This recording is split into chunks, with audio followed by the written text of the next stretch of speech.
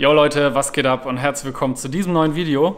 Bevor das Video losgeht, habe ich hier noch äh, eine kurze Frage an euch und zwar, habt ihr Bock auf einen 60 Sekunden Supercut von Lorenz? Ich habe ja quasi das GoPro-Material von ihm und die GoPro hat tatsächlich eineinhalb Stunden lang durchgefilmt. Ich habe für das Video von letzter Woche leider nicht so viel Zeit gehabt, diese eineinhalb Stunden wirklich konsequent durchzugucken. Weswegen natürlich jetzt die Frage an euch ist, habt ihr Bock, dass ich das nochmal richtig durchgucke und dann halt so eine 60 Sekunden Strecke zusammenschneide auf äh, gute Musik natürlich äh, und das auf Instagram hochlade, damit ihr halt nochmal ein bisschen Entertaining davon habt. Falls ihr darauf Bock habt, könnt ihr das ja schon mal in die Kommentare schreiben. Und in dem heutigen Video äh, mache ich folgendes. Und zwar bin ich gerade in Hamburg bei Max und wir machen heute einen kleinen Overnighter. Es geht äh, in den Norden raus aus Hamburg. Und ja, wie das alles jetzt wird, ob die Materie gut ist, ob wir äh, einen exzellenten Schlaf haben, das seht ihr jetzt alles in dem Video. Also bleibt dran. Wir sehen uns gleich auf dem Hobel. Jo Leute, äh, die zwei Bekloppten sind wieder unterwegs. Äh, wir diven jetzt straight rein in die Materie, haben richtiges Kaiserwetter, wie man sehen kann. Ja. Es ist fast unglaublich, dass im November noch so geil die Sonne scheinen kann. Und vor allem, wir haben irgendwie 14 oder 15 Grad. Baba Sonnenschein ist da. Absolut, Alter. Deswegen, also wir düsen jetzt äh, mal richtig schön ins Dickicht rein, ja. Und ja, gucken einfach mal so, was es heute so gibt. Ja? Einfach mal den Forest wieder aufleben lassen. Genau, einfach mal auch die, SP, die STVO representen, Leute. Digga, immer. Auf jeden Fall, ja, wir diven jetzt rein in die Materie. Viel Spaß beim Video.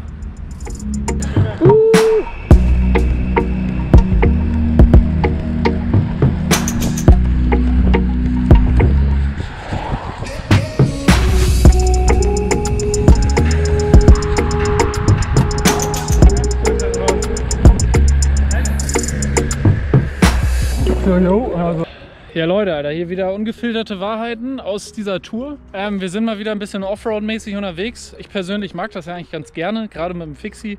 Ist das nochmal so eine andere Belastung, sage ich jetzt mal. Ne? Man muss dann ein bisschen besser so mit dem Gleichgewicht und du guckst halt auch ein bisschen besser auf den Weg, ob das da irgendwie Löcher im Boden gibt oder ob du da abrutschen kannst. Ne? Fahren tatsächlich gerade einen kleinen Umweg, weil wir noch bei einem Supermarkt vorbei wollen, äh, weil wir gar nicht so viel Wasser mit haben äh, und wir wollen heute Abend noch was kochen. Ich habe einen äh, Kocher mit dabei. Bin echt gespannt, äh, wie unsere Schlaflocation so ist. Ich war ja persönlich da noch nie. Max hat nur Gutes erzählt. Dementsprechend hoffe ich, dass ich nicht enttäuscht werde. Die Sonne blendet mich hardcore und ich würde sagen, weil wir hier jetzt gerade so toll stehen, gibt es jetzt ein paar Drohnenaufnahmen. Grüße gehen raus an Max. Ab geht's.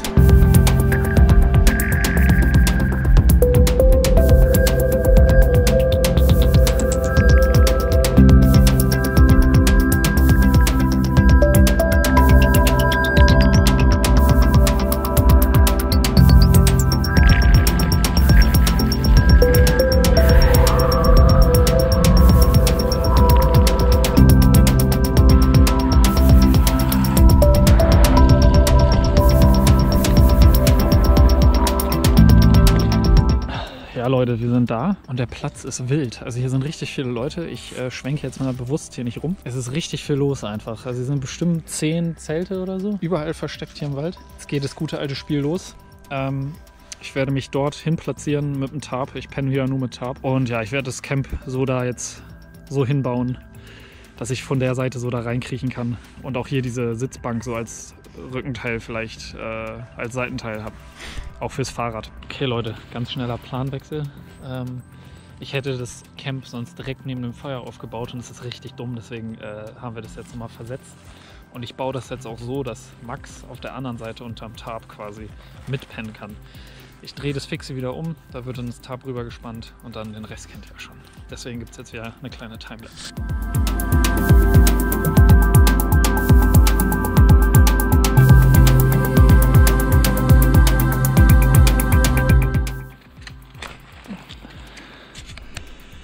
Ja, Leute, wir versuchen gerade Feuer zu machen. Es ist, äh, geht schleppend voran, aber alles Step by Step. Ja, Leute, wie ihr seht, wir haben ein Lagerfeuer an. Ähm, das hat tatsächlich einen Moment gedauert und wir haben auch gut gestruggelt, weil... Ich bin mir echt nicht sicher, ob wir es überhaupt hinkriegen. Alter. Hört ihr das schon? Hört ihr das schon? Da war äh, jemand am Zweifeln. Ja, ich muss aber ehrlicherweise sagen, ich habe auch kurz gezweifelt. Ich habe jetzt gerade eben aber äh, eine gute äh, Quelle gefunden für trockenes, trockenes Holz auf jeden Fall. So, nichtsdestotrotz, Max und ich haben uns ja nicht lumpen lassen. Wir sind vorhin bei Famila rangefahren. Ich glaube, da habe ich leider keinen Clip mehr von. äh, und haben auf jeden Fall noch ein bisschen was zu essen und zu trinken geholt.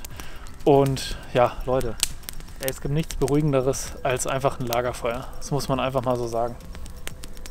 Vor allem, wenn es endlich wärmt und brennt, Alter. Das Ja. tut so. So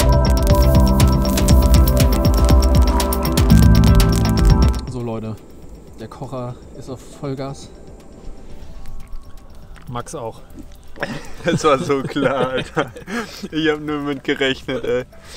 Ja, Leute, Es ist nicht scharf geworden, also man Ah. hat nicht gesehen, dass du Bier getrunken hast. schade. Naja, Das schneide ich aber genau so rein. bitte, ja.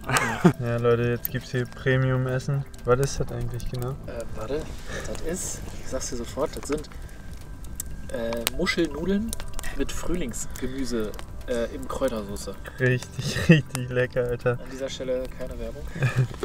Und Äh. wir haben gleich noch im zweiten Kurs ähm, Penne mit Brokkoli mit Frühlingskräutern. Also fast das gleiche, nur mit anderen Nudeln. Aber einfach so entspannt, Mann. Wir sitzen hier, das Feuer läuft und ja, es ist schön warm und schmeckt, Alter. Das mag der Waldkorso auf jeden Fall ganz gerne. Junge, Junge, ey. Man muss einfach nur vor die Tür. Das ist echt geiler als alles Fernsehen und Fünf-Sterne-Hotel zusammen, Alter. Mhm. Ein Feuer am Laufen zu haben. Du hast, nice. mal, du hast mal zu mir die weisen Worte gesagt. Ähm, die besten Geschichten schreibt immer noch das Leben selbst. Und das ist einfach so. Du, erle also, du erlebst keine Geschichte, wenn du zu Hause rumsitzt oder in irgendeinem Hotel bist oder in irgendeinem Campingplatz, weißt du, wo die anderen Snobs rumhängen. No front. Ne? Aber, Digga, hier kann jetzt alles passieren, Alter. Ne? Wenn es jetzt anfängt zu regnen, Alter, wir sind komplett den Naturgewalten ausgesetzt. Okay, Leute, ähm, wir haben jetzt beide äh, ein bisschen was gegessen auf jeden Fall. Ähm, und mit dem Feuer kämpfen wir nach wie vor immer noch ein bisschen, weil äh, wir aktuell immer nur so kleine Tannenäste finden, die trocken sind. Wir werden jetzt wahrscheinlich ein paar größere, nasse Sachen holen, die darüber halten und das dann jetzt nochmal ordentlich anfeuern. Aber ja, es geht uns wirklich hervorragend. Ich muss sagen, ich habe seit langem nicht mehr so gut draußen äh, gegessen. Ähm, lag auch ein bisschen daran, dass wir nur gefrühstückt haben und dann halt hierher gefahren sind. Und ja, das Licht da hinten ist Max. Und wir gehen jetzt nochmal rein in den Forest, Alter, und äh, gucken, was wir da so finden. Und wenn das Feuer gleich wieder richtig groß ist, dann seht ihr das. Also bis gleich.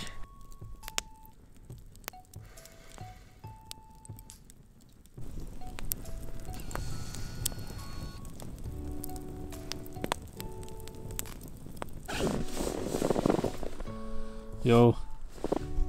Gute Nacht, Max. Ja, Leute, ihr wisst, was jetzt kommt. Gute Nacht. Äh, ich gehe jetzt schlafen. Es ist tatsächlich kälter als angenommen. Ähm, aber ja, ich habe meinen Biwaksack mit. Kann sein, dass ich da heute Nacht noch reinschlüpfe, was dann halt aber natürlich heißt, äh, was dann natürlich heißt, dass ich ordentlich schwitze, was auch nicht gut ist, aber naja, lieber warm und durchgeschwitzt als ähm, frieren, glaube ich. Keine Ahnung, werde ich euch morgen früh alles berichten. Bis gleich. Einen wundervollen guten Morgen, Leute. Ähm, die Nacht war kalt, wie ihr es euch denken könnt. Wir hatten tatsächlich Tiefstwerte von 2 Grad. Ähm, aber nichtsdestotrotz habe ich auf jeden Fall relativ gut geschlafen, aber Max auch. Und wir sind schon äh, mitten dabei, die Sachen abzubauen. Ähm, ich habe das wundervolle Problem, dass ich in meinem Biwaksack dann irgendwann reingekriecht bin und deswegen halt krass geschwitzt habe da drin. Mein Schlafsack ist von außen relativ nass. Und bei Down-Schlafsäcken ja, sollte man das ja eigentlich verhindern. Aber ist egal, den lege ich nachher bei Max in der Bude einmal aus, damit der trocknen kann und gut ist. Ja, äh, was machen wir jetzt? Wir packen jetzt den ganzen Hobel hier wieder zusammen. Und dann äh, fahren wir die Route zurück. Dann geht das große Abbauen mal wieder los.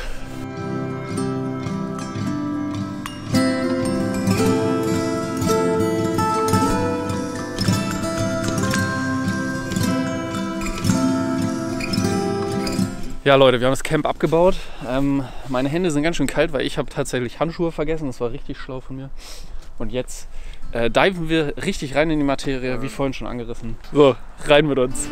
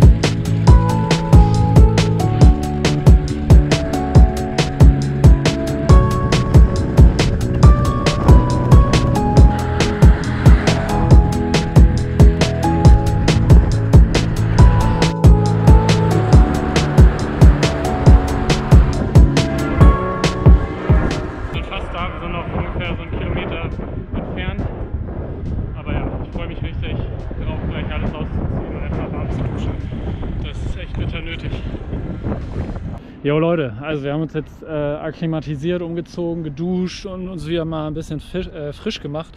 Nichtsdestotrotz haben wir gesagt, okay Leute, das wäre das so gut. Wir müssen jetzt nochmal auf den Hobel und wir wollen natürlich euch auch euch aktivieren, auf den Hobel zu gehen. Ja? Deswegen haben wir uns gedacht, wir verstecken jetzt einfach Sachen hier überall in Hamburg. Also Ganze Bauchtasche voller Platz. Genau, also wir haben Sticker dabei, wir haben Caps dabei, wir haben T-Shirts dabei, all so ein Gedöns. Und äh, wir posten das immer in die Instagram-Story, wo das ist und dann können die Leute da hinballern und ja, sich das abholen. Also quasi für lau, Alter. So, die erste Sache haben wir jetzt hier in der Hafen City schon versteckt und wir diven jetzt direkt weiter, um woanders Sachen zu verstecken. Wo meinst du, sollen wir hin? Ich kenne mich ja in Hamburg. Ein bisschen weiter Richtung Elbbrücken. Oh, Elbbrücken, sagt er. Okay, ich kenne mich ja in Hamburg nicht aus, keine Ahnung, wo das ist. Aber ja, falls ihr Bock habt, dass ich sowas auch mal in Berlin mache, vielleicht auch mit Max zusammen, lasst es mich gerne wissen. Könnt ihr ja mal in die Kommentare schreiben. Ja, weiter geht's jetzt.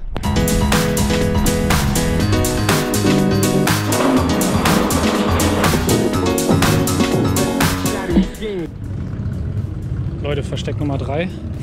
Der Waldkorso war hier auf jeden Fall am Start. Und ein bisschen offensichtlicher jetzt, aber hier ist ein Stapel exklusiver Waldkorso-Aufkleber. Kommt vorbei.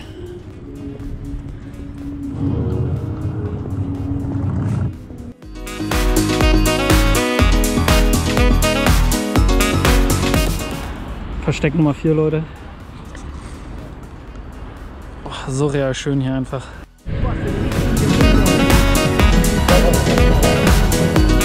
Leute, Versteck Nummer 5.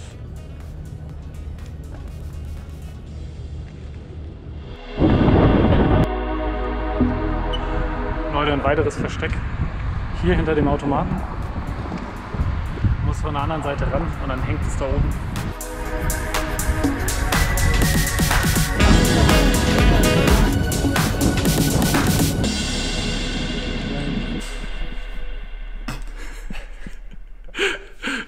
Jo Leute, wir sind am Ende des Videos angekommen. Ich hoffe natürlich, ihr habt bis hierhin geguckt und hattet natürlich auch viel Spaß dabei. Ähm, es war wild, es war mystisch. Zu mystisch. Es war wirklich zu mystisch. Und ja, Frage an euch ist natürlich, ähm, habt ihr Bock darauf, dass äh, ich und vielleicht sogar auch mit Max zusammen äh, so eine Hide-and-Seek-Geschichte mal in Berlin machen oder vielleicht auch in einer anderen Stadt? Könnt ihr ja mal unten in die Kommentare schreiben. Und ansonsten Fahrt mal vorsichtig, vergesst nicht meinen Kanal zu abonnieren. Das könnt ihr jetzt mal hier auf Max seiner Brust machen. Zwei weitere Videos findet ihr hier oben irgendwo. Und äh, ja, ansonsten sehen wir uns nächste Woche. Dived richtig rein in die Materie, fahrt vorsichtig. Und Leute, ganz wichtig, you have to unmute you.